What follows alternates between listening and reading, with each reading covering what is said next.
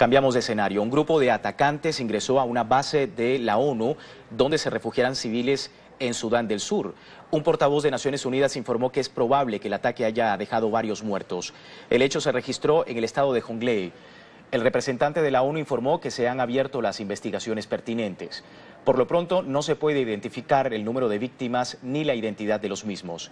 Este ataque es el último suceso registrado en Sudán del Sur cuando se extienden los choques entre seguidores del presidente Salva Kiir y del ex vicepresidente Riek Machar.